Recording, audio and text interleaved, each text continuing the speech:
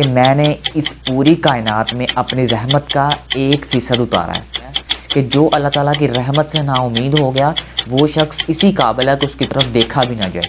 आप इतने बड़े कामयाब बिजनेसमैन हैं और आपका ईमेल एड्रेस ही नहीं अभी तक बना हुआ।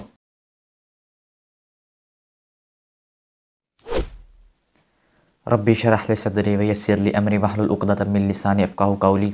अम्माबाद फ़ाउज़बिल्लिमिनशैतानरजीम बसमीम अल्लाम वरहमतुल्लाहि वबरकातुहू मेरा नाम है मोहम्मद बिलाल और आप सब दोस्तों को एक नई वीडियो में खुश आमदीद।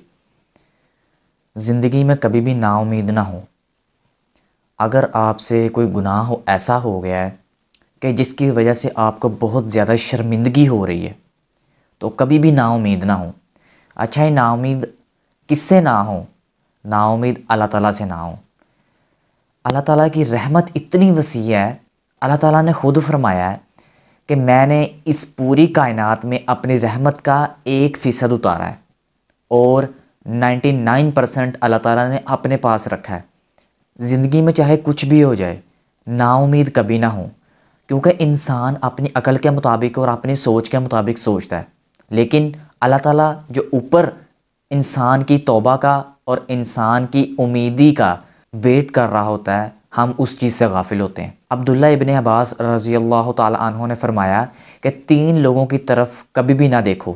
पहला वो शख्स जिसने अल्लाह ताला की चादर को खींचने की कोशिश की और अल्लाह ताला की चादर तकबर है और अल्लाह ताला का जो औज़ार है, वो इज़्ज़त है। और दूसरे नंबर पर जिसने अल्लाह ताला के हुक्म की नाफरमानी की मतलब जिसने अल्लाह ताला के हुक्मों को कोई कुछ समझा ही नहीं और तीसरे नंबर पर जो अल्लाह ताला की रहमत से नाउमीद हुआ। ये अब्दुल्ला इबन अब्बास रज़ी अल्लाह तु फरमा रहे हैं कि जो अल्लाह ताला की रहमत से नाउमीद हो गया, वो शख्स इसी काबिल है कि उसकी तरफ़ देखा भी ना जाए।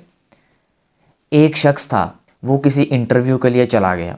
ऑफ़िस में गया और ऑफ़िस में जाने के बाद मालिक ने उसका इंटरव्यू किया और मालिक ने उसे कहा कि, अब आप जाएँ और जाते जाते आप अपना ईमेल एड्रेस मुझे दे दें।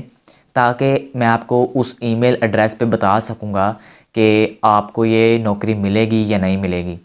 तो उसने आगे से जवाब दिया कि सर, मेरे पास तो मेरा ना कंप्यूटर है और ना मेरा कोई ईमेल एड्रेस है।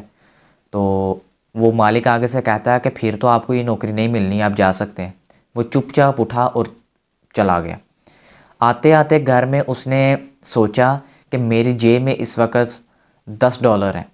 तो उसने क्या किया, वो दस डॉलर के जाके टमाटर ख़रीद लाया। और उन्हीं जो दस डॉलर के उसने टमाटर ख़रीदे थे, उसने घर घर में जाकर वो टमाटर बेच दिए और तीन घंटे के अंदर उसने साठ डॉलर कमा लिए। अब पचास डॉलर का उसको फ़ायदा हो गया। अब उसने सोचा, ये बिज़नेस तो ठीक है।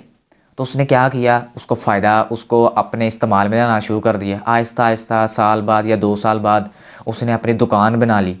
उसके बाद पाँच साल बाद उसने पूरी मार्केट बना ली। और एक वक्त ऐसा आया कि वो मार्केट जो है, वो पहले नंबर पर मानी गई। अब उसने सोचा कि मैं अपने घर वालों की लाइफ इंश्योरेंस करवा लूँ। हालाँकि लाइफ इंश्योरेंस हराम है, मैं वैसे ही आपको एक बात बता रहा हूँ। तो लाइफ इंश्योरेंस वाला आदमी उसके पास आता है और आकर कहता है कि, सर, आपकी लाइफ इंश्योरेंस हो जाएगी। सारी उसने अपनी फॉर्मेलिटीज़ पूरी करने के बाद उसने कहा कि आप अपना ईमेल एड्रेस दें। ताकि जो भी अब जो मालूम रह गई हैं, वो आप, वो आपको मैं जो है ईमेल कर दूँगा। तो उसने कहा कि मेरा ईमेल एड्रेस तो नहीं बना हुआ।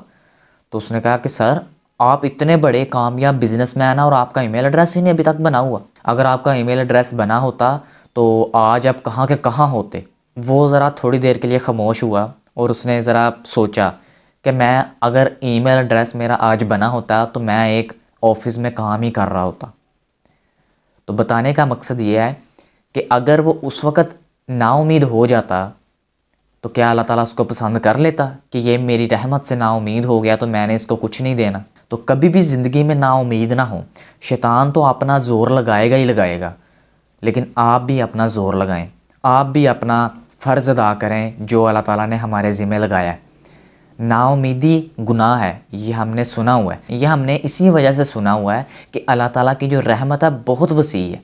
सबसे पहले ज़रूरी ये है, तोबा के लिए भी ज़रूरी ये है कि आप अल्लाह ताला की रहमत से नाउमीद ना हो।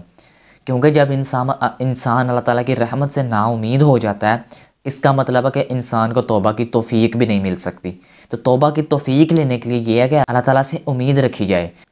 इस दुनिया में लाखों इंसान ऐसे हैं कि जो इस वक्त अल्लाह ताला की रहमत से बिल्कुल नाउमीद होकर बैठे उनको पता ही नहीं है कि हमने अल्लाह ताला की रहमत से उम्मीद लगानी कैसे है, हमने अल्लाह ताला से उम्मीद कैसे लगानी है। उनके मुँह से, उनकी ज़ुबान से जब भी अल्फाज निकलेंगे, नाउमीदी वाले ही निकलेंगे। और उनके चेहरे से भी यही मालूम होगा कि इस वक्त ये नाउमीद है।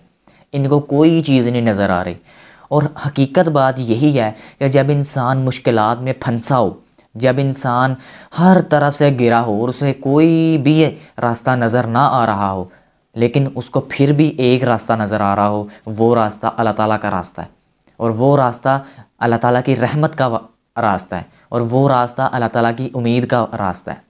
इसलिए ज़रूरी ये है कि कुछ भी हो जाए, ज़िंदगी में मुश्किल आकर आपको गिर लें। ज़िंदगी में कुछ भी हो जाए, लेकिन अल्लाह ताला की रहमत से नाउमीद नहीं होना, क्योंकि अल्लाह ताला हमारा क्रिएटर है।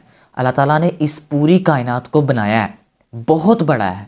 हम अल्लाह अकबर अल्लाह अकबर, जो इस पूरी कायनात का बादशाह है।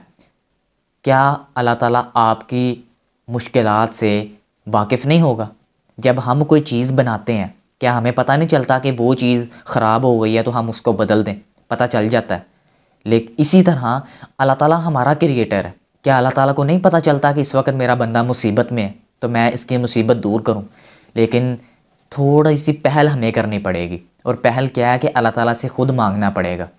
तो उम्मीद करता हूँ आज की इस छोटी सी वीडियो से कुछ फ़ायदा ज़रूर हुआ होगा। अपना और अपने प्यारों का बहुत सारा ख्याल रखिएगा।